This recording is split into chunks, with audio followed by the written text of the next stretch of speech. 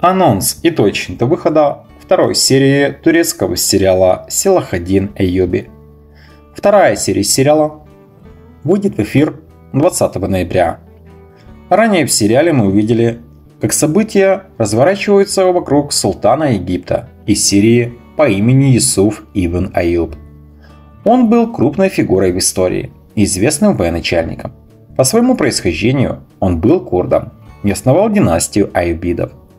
Именно они правили Сирией, а также Египтом и Ираком, Хиджазом и Йеменом. На протяжении всей своей жизни главный герой стремился к тому, чтобы объединить воедино весь исламский мир. Но самой главной целью для него являлось то, чтобы вернуть мусульманам Иерусалим. И при этом он стремился все сделать мирным путем.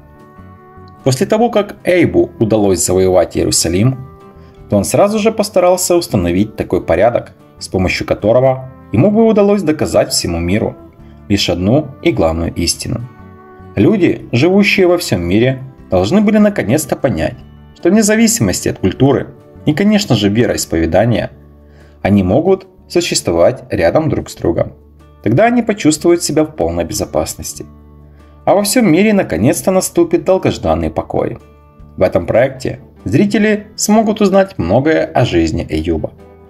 Но самое главное, многие смогут убедиться в том, что люди действительно могли бы жить в мире и согласии. Вторая серия сериала выйдет в эфир 20 ноября.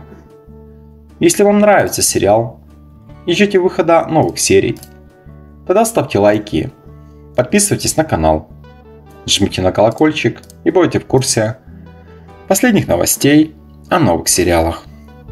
Спасибо за подписку и лайки.